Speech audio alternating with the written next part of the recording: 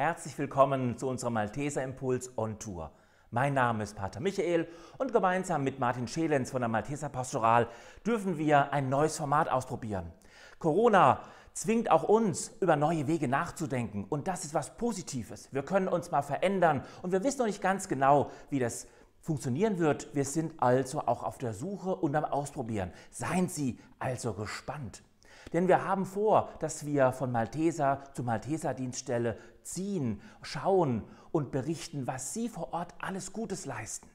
Und so sind wir heute Morgen zum Beginn unserer Reihe bei unserem Diözesanleiter Josef von Befferförde.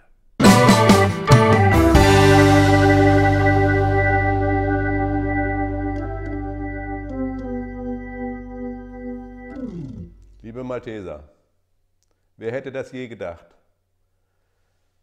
Deutschland, Europa und die ganze Welt wird bedroht von einer Krankheit, die insbesondere die Alten und Schwachen trifft. Frau Merkel hat einmal gesagt, das schaffen wir. Ja, das schaffen wir in diesem Fall mit ihrer Hilfe, mit ihrem unbedingten Willen, sich einzusetzen für Schwache und Bedürftige. Ich danke allen Maltesern im Haupt- und Ehrenamt.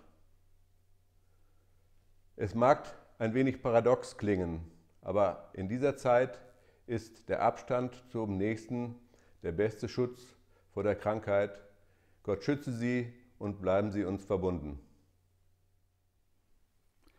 In diesen Zeiten ist es wichtig, dass wir aufeinander achten und zusammenstehen.